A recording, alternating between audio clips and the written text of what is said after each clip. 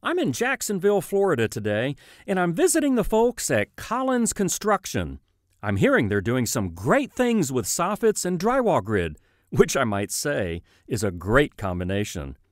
I just had to stop by and check out what they're doing on this six story, 200,000 square foot office tower. So come along with me as I stop by the project.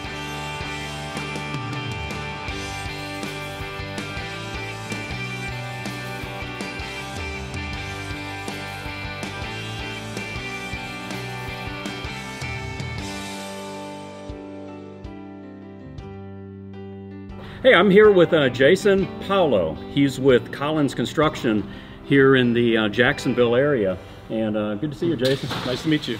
One of the things we hear, Jason, about uh, you know from a lot of contractors is safety, and you know how they're a lot safer with the drywall grid for soffits. How, how's it impacting safety for you here on the job? That's also a big deal. When you know you're saving about a week and a half worth of work, you're saving a week and a half worth of safety risks along with that. Um, we don't have to get on scaffold, shoot track on above, um, overhead, things in the way. We're shooting wire from the ground. Everything's just, from the everything ground. Everything is from the ground, and it's much safer that way. And, and you're not, and you're, you're, you're pre uh, jigging everything Everything is pre-jigged, so you don't have a bunch of guys getting hand cuts and all that. So everything's made in this station right here. You know, what feedback are you hearing from the general contractor with regards to what they may be hearing from MEP trades and things like that? Well, they love it because it saves time in their schedule. Okay. And um, safety as well. But um, just the MEPs not having to worry about stuff in the way. You can shoot a wire anywhere and get away with it. When you start putting track and studs and kickers, it becomes an issue. Yeah, so GCs are, they care about safety and they care about productivity. Yes. So with what Collins is doing here, it's really impacting that here on this uh, this job. Is there a learning curve, you know, when you all started this, uh, as far as uh, uh, using the drywall grid?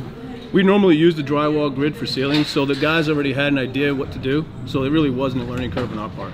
Just just keeping with mains on four foot on yep. center, stabbing them in? It was the same thing, no learning curve. It took about an hour to get a jig done, and they run with it. Yeah, I mean, doesn't matter if it's upturning, nope. as long as it's four foot on yep. center. Click and go. Click and go. You know, what advice do you have for a new contractor that might be thinking about doing this on one of their jobs? Definitely try it out.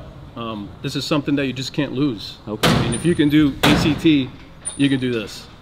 Yeah, and if so, we can provide shop drawings, does and that... that's huge. Yeah, shop drawings, you get approved by the architect. I mean, there's a lot of time savings and money savings, so it's huge. You know, how, how was this job bid? Was this bid using stud and track, or was it bid with drywall grid?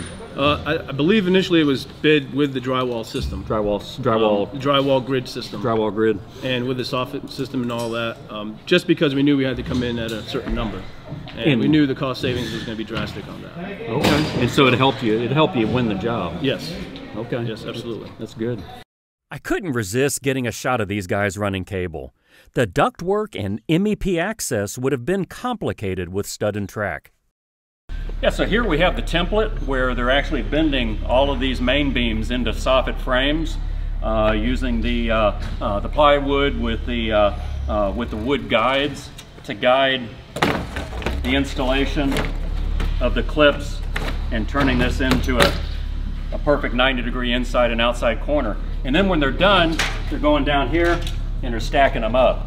Look at these simple two by two soffits here. These are even more simple. Uh, they're just taking mains two feet on center, or they're taking, uh, that you could even take uh, four or six foot cross tees two feet on center and bend them. Uh, they're kicking them back to square them up. But the key takeaway here is that they're eliminating four to five feet of studs to structure because they're simply floating these with hanger wire. So real fast, real productive, and when Jason was talking about the productivity gains that they have on this job, this is precisely because of it. Here's an area on this five-story building where they have basically 800 running feet of this per floor. In this condition, it's, it's a 10-foot bulkhead soffit with a light cove on one side and, uh, and then an upturn, oh, about a 12-inch upturn on the outside edge. But every 10 feet, there's a linear light fixture that is mudded into the drywall. And with the drywall grid, they're able to frame 10 running feet at a time putting their main beams four feet on center. And uh, when we were looking at the template earlier, or the jig, uh, they were bending up these main beams very efficiently. And again, they're only needing to bend their equipment every four feet on center.